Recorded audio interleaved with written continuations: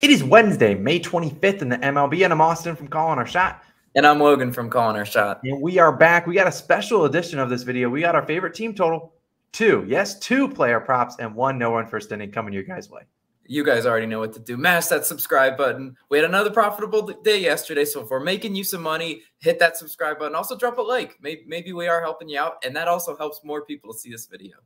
I agree 100%, Logan. And we had a great day yesterday. Let's do a quick recap of it. Now, I do have to say, our parlay of the day will be live on OddsJam a little bit uh, later on this morning. And you probably want to tune in because yesterday we cashed out our parlay. Rays minus one and a half. No sweat bet. Angels minus one and a half. They made you sweat in the top of the ninth as they gave up two runs, still cashing that. And overall for our plays, a two and one day. So no complaints over here. We'll take it. We have the Rays minus 0.5. Great call, Logan. Plus value too. Easy cash. I think they won that, what, the first five by 2 0. And then Trout gets two singles. Look, that's what he does. The man's a legend. He's a robot. That's what he gets done. And then the Cubs versus Reds, Nerfy.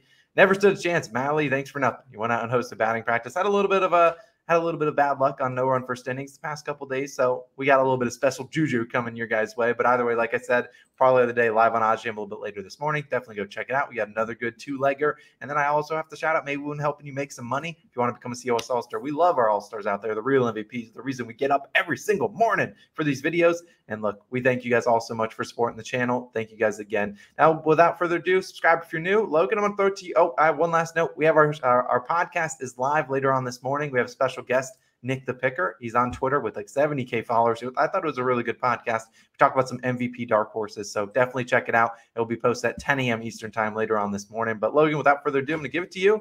Then I got two player props. So let's get it cooking. Yeah, we, we got a good slate today. And we're starting with a team total, as you mentioned Phillies versus Braves. And I'm taking the Phillies team total over three and a half total runs. Currently minus 125 odds on, on Barstool, as Austin's pulling it up right here. 125. This is one of those bets I play sooner rather than later. The books are probably going to juice it even more. So it's minus 125 on Barstool, a little bit worse value on other books, but this is why I use OddsJam because I want the best bang for my buck. So I placed it on on Barstool. Is you know the Phillies have been bringing the bats to Atlanta, right? This is why I'm comfortable taking a team total. They've hit this line in both games of the series, and they're facing Charlie Morton today. Charlie Morton, 4.95 ERA, so with a roughly five ERA, it's going to be lots of hits and runs opportunities. Phillies are bringing the bats on the road. Most importantly, during the month of May, they're batting 280 on the road. That's that's really solid for for a Phillies team that I've always you know half trusted on the road. I'm like, are they actually going to bring the offense today? Certainly. And several of this, these Phillies hitters have great splits versus Charlie Morton. I'm to read you them. Bryce Harper, 350 versus Morton. Jean Segura, 263. Realmuto, 333. Bohm, 333. Odubel Herrera, 444 versus Morton. If they're getting production out of Odubel Herrera, this team this team is uh, unstoppable virtually because he's you know one of their more inferior hitters. But you just you just saw I, I told you Harper 350. He had so much damage last night, so he's swinging a scorching hot bat in Atlanta. Hope he can bring bring that bat for us again. Philly's offense is fifth in hits per game, so we love to see a team that's that's constantly getting those hits, constantly getting those base runners. Because I mean, at the end of the day, we can't go out and score the runs for them. We we just need those hits to to at least get the run opportunities, and the Phillies are doing that. Lastly, the Braves bullpen is providing a lot of opportunities late. Their, their 3.38 bullpen ERA to me is a little bit deceiving because last night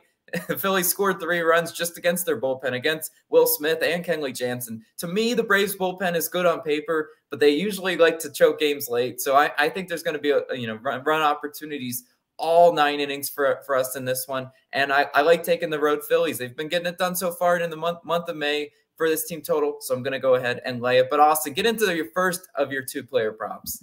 Yeah, Logan, I like the pick because we've seen the uh, Phillies really good on the road. We saw them go into that Dodgers series earlier in May and absolutely just light up yeah. the field. So hopefully they can get it done for us. We just need four runs. Now I got two player props for you guys. The first one, starting with the man that's treated us nicely before. Trey Mancini, I'm taking his over 0.5 singles, minus 125 on, Caesars, on Caesars. Obviously, he's a player for the Baltimore Orioles. And yes, this is just a singles prop. It's normally only available on Caesars and DraftKings, but I still like it. It's available on both those books. And, you know, FanDuel, if you want to take him to get a hit, I'm fine with that. Now, yesterday, Mancini didn't cash his prop, didn't get close. 0 for 5, two Ks from the day. Now, had a lot of plate appearances. I think he got pinch hit at the end of the game or a pinch run, and then obviously again went to extras and didn't get up in his second, his sixth at bat. But still, look at Mancini on the season, whole body of work. 293, 41 games played, 46 hits, 38 of them being singles. And what I like to call him, bounce back Trey, because he has 11 games this season without a hit, with the 11th being yesterday. And in the previous 10 games, he had a single in all the rest of the previous 10. So he's perfect 10 0 on this prop when he doesn't get a hit the previous day. And I think he's going to get it done. Now, Mancini has had some struggles against the Yankees. I mean, not terrible, still 265, which would be a lot of hitters, a very good year, but he's batting 265 versus them in 12 games, 13 hits, 11 of them being singles. Now, he has gone hitless, though. Yeah, I talked about 11 games without a hit.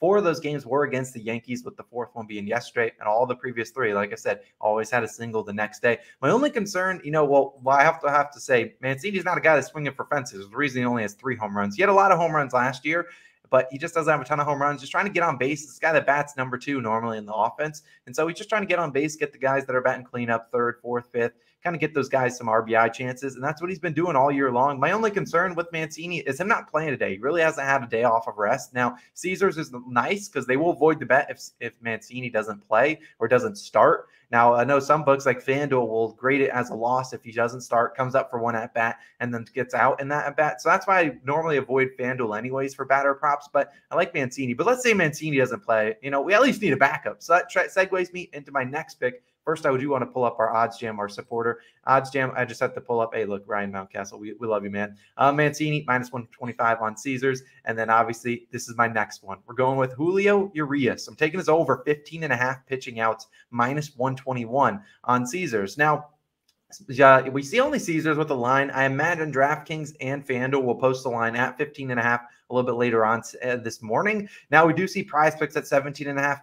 I probably wouldn't take it. In my opinion, though, Urias is going five or six innings pitched. So he's either cashing, not cashing 15 and a half, or he's cashing both 15 and a half and 17 and a half. That's just kind of what they do. They don't let, you know, Urias, even if Urias is pitching a gem, don't normally let him go past six innings pitched. Now, his two starts against Washington last year, who he's taken on the Nationals today, 5.2 innings pitched and six innings pitched. So cashing it in both games last year. And obviously, we have to talk about Urias. He's not a strikeout specialist. You go to look at his strikeout prop, probably three and a half, four and a half he's a pitch to contact guy. And sometimes those pitch to contact guys can just start right, just getting runs like or getting hits. I'm just taking a step back. They just get people to pitch in the quick, easy out, some one pitch, two pitch at bats, which is exactly what we'd like to see out of the Nationals offense. Now we look at Urias's last five starts, put it in terms of outs. He's at 15, 18, 18, 18, 18 outs. So hitting it in four of the five games. We saw his last most recent start. He went under. He obviously only had 15 outs, losing on the hook.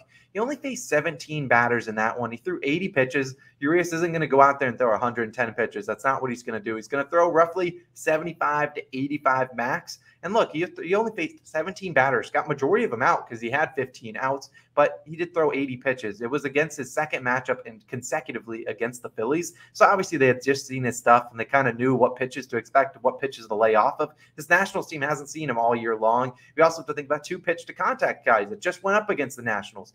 Framber Valdez, Taijuan Walker. Both guys went seven innings pitched. Didn't have a ton of strikeouts. Neither of those two guys are strikeout specialists. Both pitched to contact. Both easily surpassed this line. I think Urias can get it done. Also, my last note, I didn't put it as a note on the screen, but the Nationals ground out into the most double plays in the MLB the absolute most. The only concern is the Nationals are fourth in batting batting average and balls in play, but still, it's a team that's going to have a lot of grounders. And if we can get some double plays potential, like I said, they ground out into the most in the MLB. I think we can do that, and we should see Urias do pretty well today. So I'm riding with him over 15 and a half outs.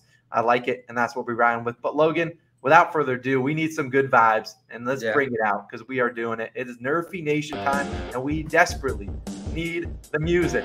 We needed it. We've been down bad the past couple days. It's not what we want to be doing for Nerfy Nation. So, of course, coming back with the winner today. We just absolutely need it. Now, uh, people yeah. people say to fade them, you know what? We're 27 and 18 on Nerfies. We just have hit a little bit of a cold spell, but that ends today. And we're going with a spicy one.